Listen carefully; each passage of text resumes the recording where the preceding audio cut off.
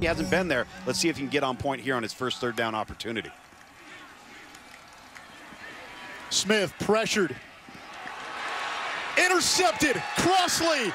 Pick six. Well, well, well. They're going to take their time running this offense. Smith lost it again. The first quarter jitters are back. SMU picks it up, and the Mustangs have a short field again. Empty set, third and 11. Buechele to the air. Now he steps up. Steps, throws, touchdown, Kylen Granson. There's no question. And if I'm SMU, I am running the football. Heavy run set here. No. They run it. It's Bentley, and he coasts in for a touchdown. Oh, and by the way, we're in the middle of the second quarter. Middle of the second quarter. That's when it usually happens. Smith moving the pocket. Denbo coming on the blitz. He's got Johnson. Touchdown, Tulsa.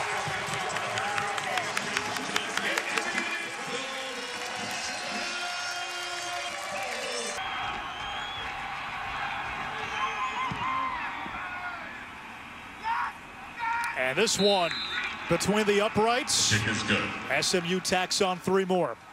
Kevin Connors in the studio. What's coming up at halftime? On second and 10. Buechele hit. Has Rashee Rice. They haven't hit a lot of big plays through the air tonight, but that's a big one.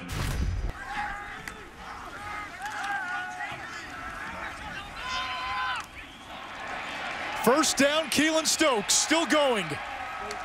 Driven out by Clay in SMU territory. And maybe, just maybe, they're setting up the pop pass here.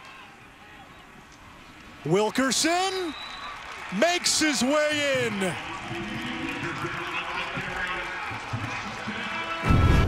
You want to load the box, we're going to throw the quick screen to the perimeter. This 11 personnel has been the difference in the game in the second half. Five-man pressure, it's picked up.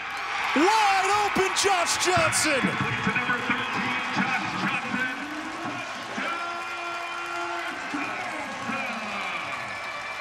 Two tight ends into the game.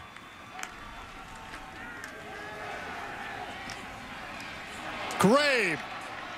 He's fast. Swift as a shadow, still going. And Danny Gray flashing the wheels and the agility. Terrific job by Stokes of not only coming back to the football, but then immediately getting upfield to get the line to gain. Tulsa's got all three timeouts. Going right back to Stokes. Across the 30. Deep in SMU territory. Inside the 25. Back to 11 personnel here. Smith to throw. He's got Palmer, who reaches across. James Palmer, his first career touchdown, and he puts Tulsa ahead. Good use of personnel there by Sonny Dykes and, and, and Garrett Riley by putting their battering ram in on the short yardage situation. Buechele intercepted. Zaven Collins seals it for Tulsa. Tulsa wins a thriller. They're 4-0 in conference.